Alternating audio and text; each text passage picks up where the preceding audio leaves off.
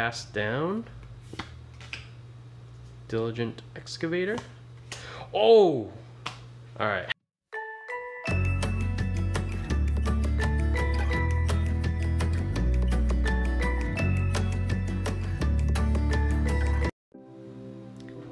Hey guys, it's iWAHnnaTurtle, and today, as the filming of this video, Ravnica Allegiance has officially released, so as a result, today we are going to be opening a Dominaria bundle. uh, why the heck are we opening this? Uh, it's because since uh, Ravnica Allegiance just came out, um, I don't have any yet. The I do have some stuff being shipped to me, and it should be here in a few business days. uh, not super connected enough to get the boxes early, so we'll just have to wait a little bit. So we're going to be opening up this in the meantime, uh, but I am really excited to get a hold of some Ravnica Allegiance stuff and start cracking into some of those packs. It's a uh, it's a uh, interesting set. You know, it's none of the stuff sounds crazy interesting, but it's uh, and then when you look at the the cards and kind of like what the uh, people are speculating about them, it's kind of not, nothing is very surprising. Where you have you know a bunch of heavy hitting mythics at a price kind of high, and then as far as like all the rares, the the shocklands are basically at the top. There's no real rares that are worth more than like ten dollars, but it is an interesting time because you know, we're not sure which which of the cards that are not mythics are going to really shake up the meta and kind of blow up. So that's that's pretty exciting. I'm excited about that. Uh, there are a couple cards that you know I feel like I feel like have potential, so I have kind of like made a couple purchases and acquired a bunch of them ahead of time. But again, so today we're just gonna do some Dominaria. We do have 10 packs for the bundle. And as far as Dominaria goes, uh, I'm pretty happy with how we've done um, in just our own openings. Alright, so first packs, Skizzik, Howling Golem, and then Marwyn Nurture. Uh, and actually I think I have, yeah, so as far as how we've been doing with Dominaria specifically, pretty happy with it. We've actually gotten two Lyras and a Sulfur Falls for the heavy hitters. Um, so Still looking for that Teferi. It's pretty crazy. That guy is up to like mid 40s at this point. That would be definitely ideal.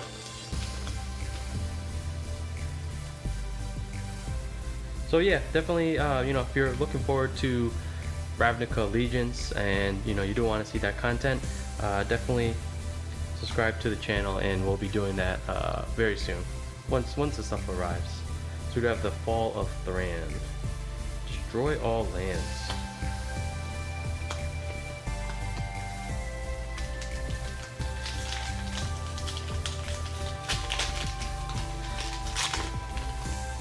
We also have some of the showdown packs uh, coming, so which which could be interesting. Um, those those guys are kind of a interesting idea where you know you do have you know, you get a couple rares and, you know, you get a couple foils guaranteed. Alright, so we are four packs in and definitely nothing too crazy so far.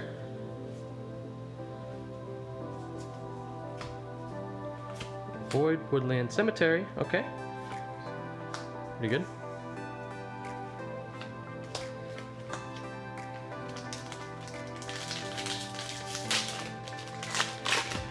That's that's one interesting thing, you know, with especially with the Ravnica sets, where there's so much emphasis on the land that kind of creates a weird, uh, you know, situation. There we go, top retreat.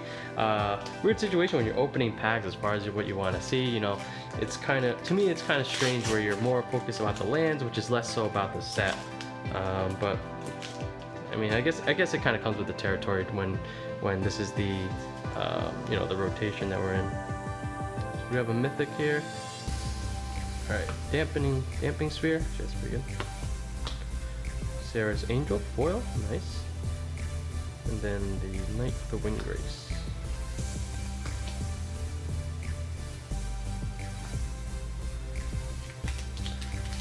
Always nice to see Serra Angel.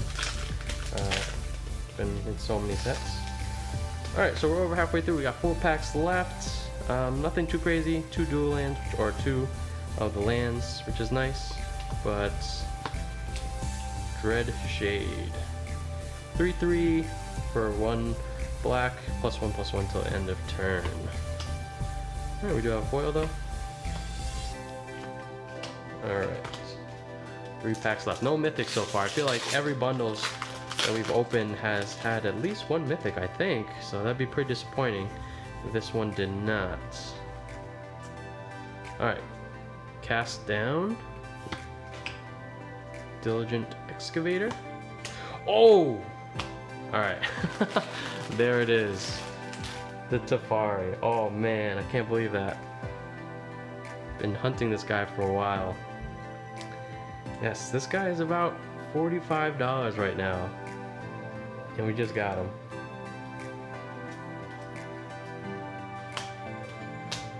Alright, let me, get situated real quick.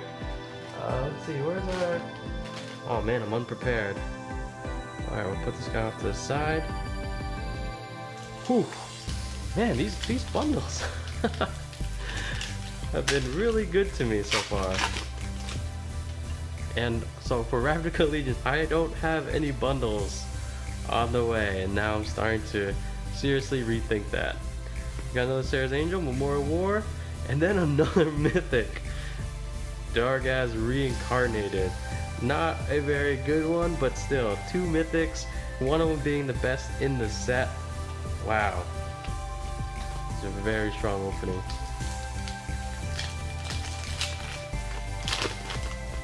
Alright, last pack.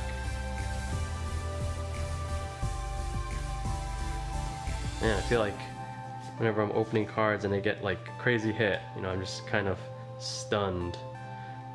Immolating Inferno. Alright, and there we go. That's all 10 packs. We'll do a quick recap. Alright, so we did get a couple foils. Got a common in the Warlord's Fury. Serra's Angel, iconic card. We do have two of the dual, uh, the you know the two color lands in Woodland Cemetery and Clifftop Retreat, pretty good. We did get a mythic in Darigaaz Reincarnated, and of course, finally, Teferi, Hero of Dominaria. Best card in the set. Wow, what a what a good bundle. Um, so yeah, actually, as far as Dominaria goes, like, we did really good. I'm, I think I still have some loose packs that now I'm really tempted to just crack into them. Um, but thanks for watching, guys. Uh, if you're excited about Ravnica Allegiance, please subscribe to the channel, and we'll be getting into some of that uh, as soon as we can. The stuff is on its way. Other than that, thanks for watching, guys. Uh, if you want to support the channel, definitely drop a like. It definitely helps the channel grow faster. Other than that, uh, I'll catch you guys next time. Peace.